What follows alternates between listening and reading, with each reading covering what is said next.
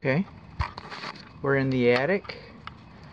This is the attic over the front bedroom. I call it the north bedroom. And um, it's loose fill rock wool, which is uh, fiberglass.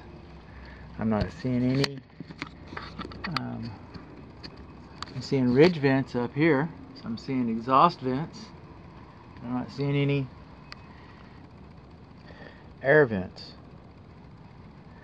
Um, this rock wool is about eight or nine inches deep.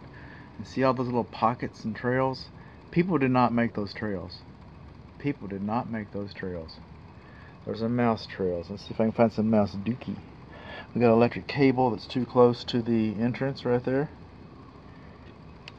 Trying to give me a good dose. We do not see depth markers and this is the clothes dryer vent and it's got cloth tape on it. Okay cloth tape is combustible. You get a, a, fire in your clothes dryer vent you've already got a bad day I get that. But then that cloth tape spontaneous combustion it starts burning on the outside of this pipe and then we've got a we've got an attic fire. We sure do. This vent pipe over here see that vent pipe? You're supposed to have at least two degrees pitch in the direction of the airflow, in the direction going up. And that just doesn't have it. It's a level right there. This is a truss built system. It's very strong. See all this old gypsum board? It's been replaced. It looks like the firewall has been, because we had a water leak right in here. See that? So it looks like the firewall has been replaced. And that's a good thing.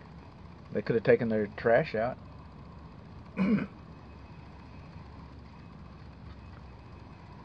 Actually, see how the firewall comes down? I got ahead of myself.